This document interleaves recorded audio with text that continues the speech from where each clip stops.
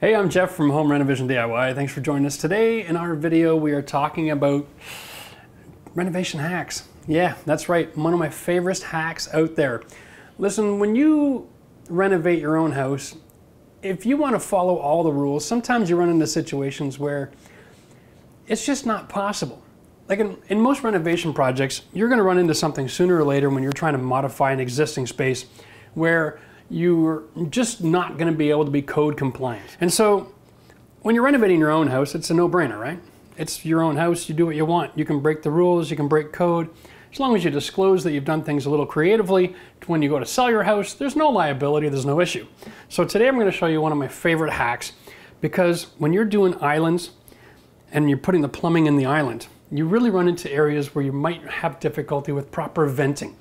And venting is really described as this you have water goes down a drain, and when that water travels, it creates a vacuum in behind it.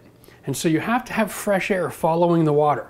If you don't have fresh air, which is venting, then you're going to run into problems and you get that gurgling effect. So if you fill your sink and you pull the drain, it just gurgle, and the water goes really slow. When water's traveling really slow, any debris or solids get trapped in the pipe. And then you run into blockage and all kinds of other issues. The one way that you can solve this problem is if you don't have access to connect the vent to the vent system of the house. And in this house, it's an 1880, so it's almost a no-brainer. I've got trees holding up the house in the basement. Running piping underneath all of that and around the, all those other obstacles is just not an issue. You can use one of these. Now this little gizmo here, it's an inline vent. And, and the idea here is that it's spring loaded. So when a vacuum is created in the pipe, it opens up and lets air travel in. And when the vacuum is gone, it shuts up again so that it keeps the sewer gases from coming into the house. Nice and simple. So what you want to do with this is you want to install this after the P-trap, okay, and higher than your fixture. That's it. So somewhere along this house, you've got to have a pipe that travels up a wall.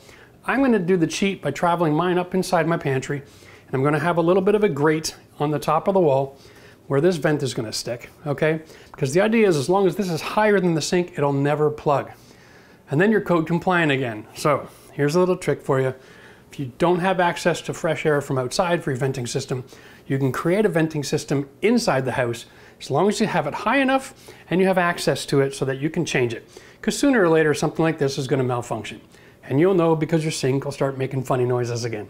If that happens, open up the vent, switch one of these out, they're about 30 bucks where I live. Hopefully where you live it's a little bit cheaper. And that problem is solved. Now in my situation in this crazy basement, I'm gonna be bringing my laundry sink and connecting it to my Saniflo macerator. So in this case, this valve needs to be installed higher than the laundry sink, which is easy, because it can just go right here near the ceiling. Now, if you have a house that's an 1880 farmhouse with trees like this as a foundation, then you'd appreciate why these things are so valuable. There we go. We just put Teflon tape on it and thread it right into the connection. And we're good to go. All I got to do is pipe it all back into the Saniflo. Speaking of creative plumbing, here's my Saniflo macerator. This is an awesome SaniCube 2. This is an amazing machine because what it does is it allows me to bring all the plumbing from the whole house, no matter what's going on, dump it into here. Wow, now look at that, it's working. so basically what you just heard was the blender going on and it shoots it up through this check valve right out to my septic tank. And over here, this is the fresh air intake.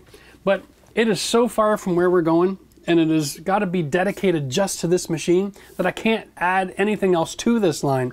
So what we're going to do is we're just going to cut here. I'm going to run a line straight over to where I'm going to put my new laundry sink. We're just going to tie right in with the TY. Good as gold. I can add on to this system all day long as long as I can use that little trick to add some fresh air to the fixtures. And that is money in the bank. And if you want to see the video on how we installed this, because I did this myself, the control panel, the electrics, the plumbing, the venting, it's all in that video. You can click the link up here. We'll put the card up there and we'll also put the video in the description down below. Now, listen, if that kind of information helps you out and solves your problem, then give us a thumbs up. And if you haven't, subscribed to the channel. And then don't forget to hit the notification bell so that you get notified the next time we come up with a video that's going to save your bacon and give you great ideas to solve problems. Listen, if you like this kind of information, then click the link right here. We're going to take you to a video that shows you the entire kitchen build. You're going to love it. We're going to see you in the next video.